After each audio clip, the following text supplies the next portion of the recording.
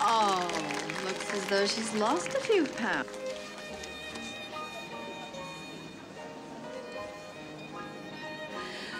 We're leaving. Nonsense. Let's go talk to her. Yeah. I'll talk to her. I just want you to know that I'm absolutely at your disposal. I want you to know that you can call me anytime you want, day or night. You can only I did give you all my numbers.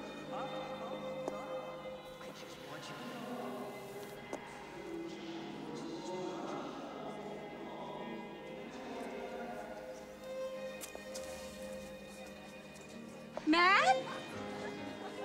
Help!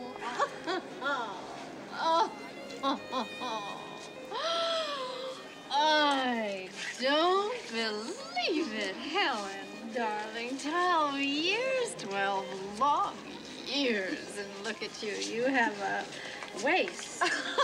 you haven't changed. Oh, gosh, I'm glad you came. Hmm. I didn't know if you would. I spoke to my PR woman, and she said Madeline Ashton goes to the opening of an envelope. Oh, those people can be so cruel. Hmm. I fired her.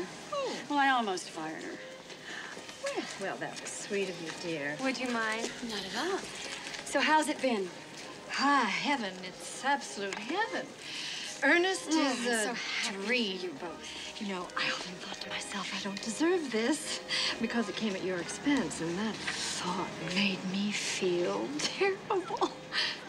Listen, that was a long time ago. You didn't steal him. He went to you.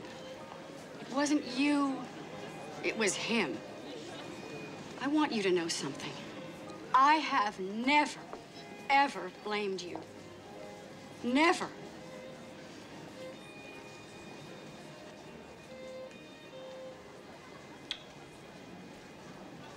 Do you believe how she looks? How old is she?